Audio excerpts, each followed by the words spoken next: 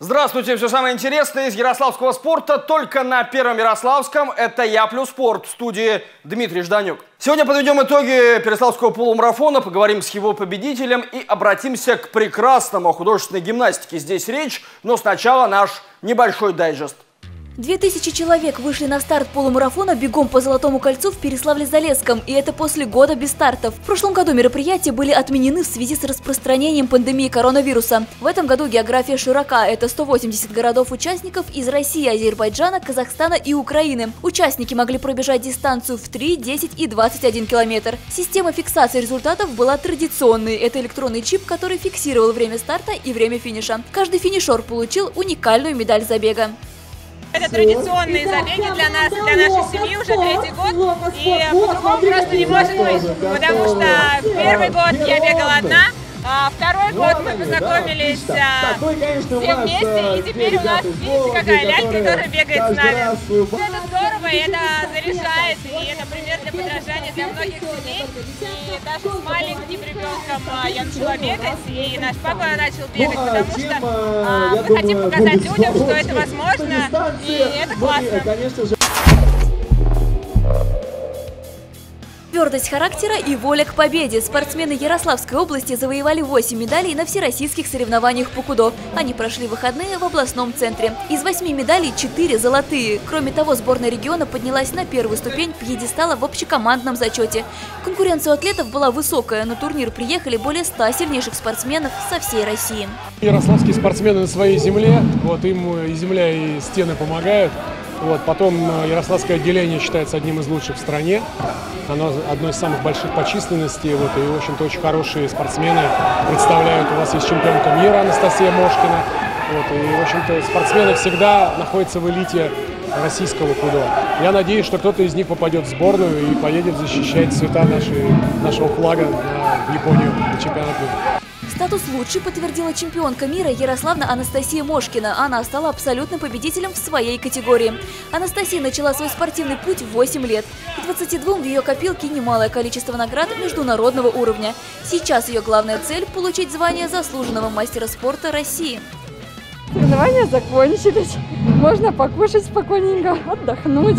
На следующий сезон очень большие планы, цели. А, в следующем году будет чемпионат России в марте. И он будет как бы отборочным на чемпионат мира, который будет проходить в Японии в мае. Вот, поэтому все шансы поехать на чемпионат мира и завоевать золото.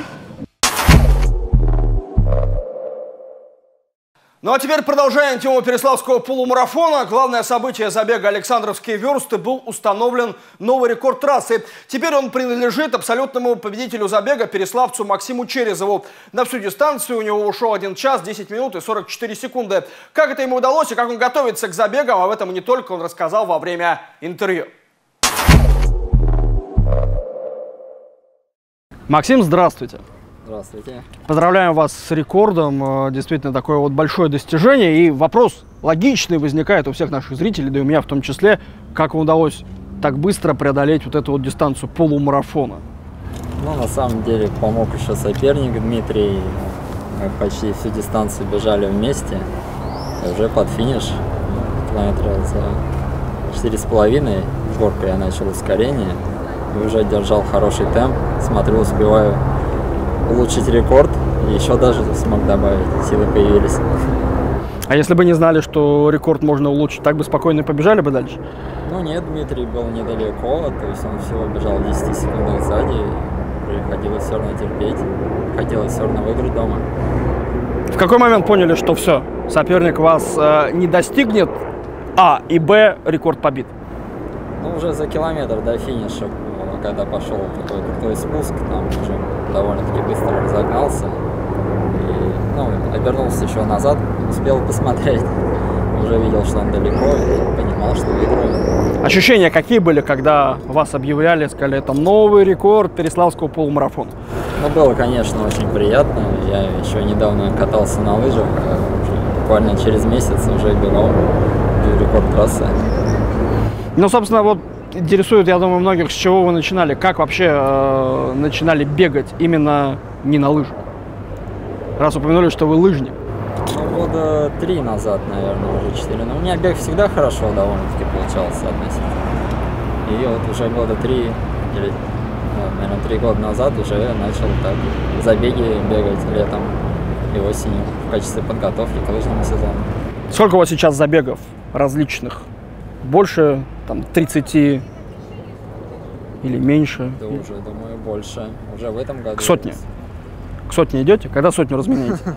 Не, так не считаю, конечно, но в этом году уже 4 пробежал, успел. Прогресс есть по сравнению с тем, как начинали? Насколько он большой? Прогресс очень большой. Неделю назад еще я бежал там на 3 минуты медленнее, чем в Переславле пробежал. То есть за неделю это очень большой прогресс на 3 минуты быстрее пробежать полумарафон. А как получается вот так улучшать э, достижения? Вот кажется, 3 минуты это огромная разница. Вот как получается быстрее преодолевать дистанцию?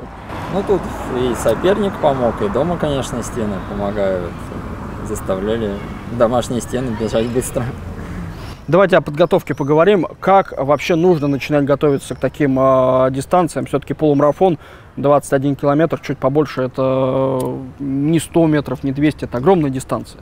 Ну да, дистанция довольно-таки длинная, больше часа ее надо бежать. Но я, как правило, готовлюсь все-таки к лыжному сезону и провожу и беговые тренировки, и велосипедные, и на лыжероллерах катаюсь летом. Это зимние лыжи такие. А как э, часто нужно э, чередовать бег, э, лыжи, роллеры, велосипед? Ну, стараюсь примерно ровно тренировать и то, и то, потому что постоянно бегать очень тяжело для... Ну, нагрузка тяжелая и на колени, и так, на суставы. Как вообще себя заставить бегать? Я думаю, многие зрители сейчас э, могут себе такой вопрос э, задать. Вот не могу, вот хочу, но не могу, вот как? Ну, надо для начала хотя бы ходить километров по 5 в день, а потом потихоньку уже переходить на бег немного, там, километра 2-3 в день. Вы лыжами сколько занимаетесь лет, получается? 22 года будет осенью.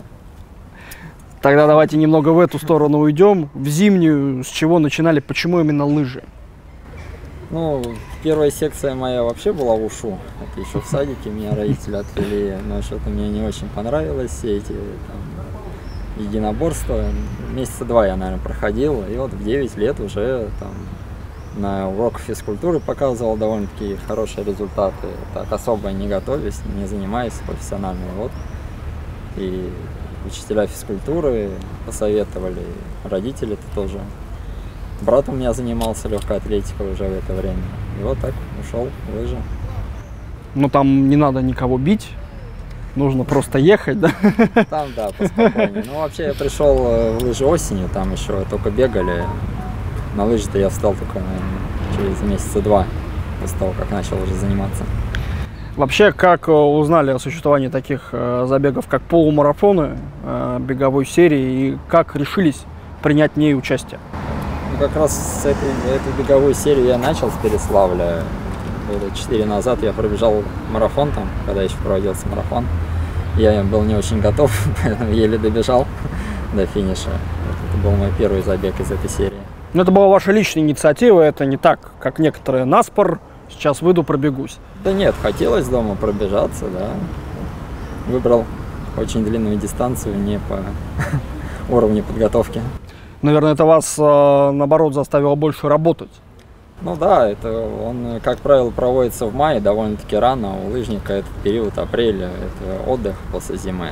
И вот там уже дальше начал работать, да. Но сейчас вот ваша подготовка позволяет вам быть в форме круглый год?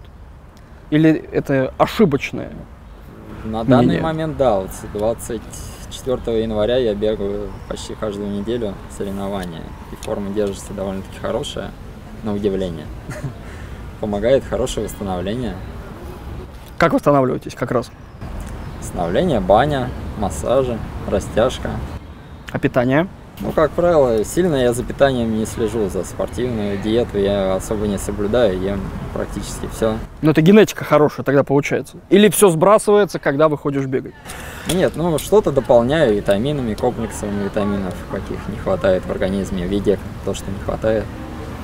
Есть ли вообще желание еще какие-нибудь рекорды побить на других этапах бегом по Золотому кольцу и не только?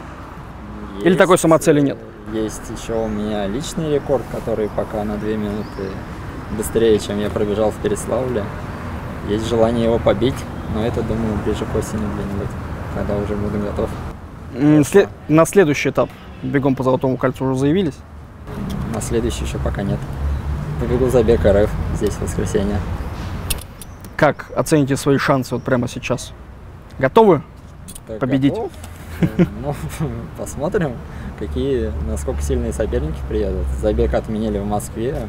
Ребята с Москвы могут сильно приехать сюда. Мы пожелаем вам успехов, удачи и, самое главное, без травм. Мы следующие забеги, чтобы тоже прошли хорошо и с рекордами. Спасибо вам огромное. В проекте «Я плюс спорт» был абсолютный чемпион Переславского полумарафона, последнего на данный момент этапа серии «Бегом по Золотому кольцу» Максим Черезов. Весна пришла, и в юбилейный раз столице Золотого кольца стартовал международный турнир по художественной гимнастике. Ярославская весна проходит уже в 15 раз, правда в прошлом году стартов не было из-за коронавируса. Поймать можно мяч, булавы или обруч. Все зависит от упражнения. Но есть одно условие. Нужно делать это красиво и под музыку.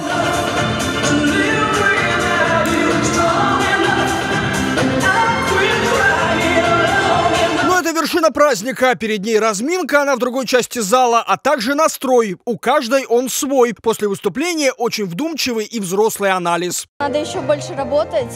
Бывало и лучше получалось на соревнованиях. Вот, ну, в принципе, я довольна упражнением с мячом, но вот с булавами я потеряла, потому что неправильно поставила руку на, на ловлю. Ярославская весна проходит уже в 15 раз. Юбилей мог случиться год назад, помешал коронавирус. Пандемия внесла коррективы и сейчас. До Ярославля не добрались представительницы Беларуси и Швейцарии. Но и без них география обширна. 15 стран и более 400 участниц. Любые международные соревнования считаются очень престижными. Почему? Потому что на этих соревнованиях при определенном количестве Э, стран э, здесь дети могут выполнять звание э, мастера спорта международного класса. И на сегодня это все. С вами был Дмитрий Жданюк. Не болейте, занимайтесь спортом. Пока.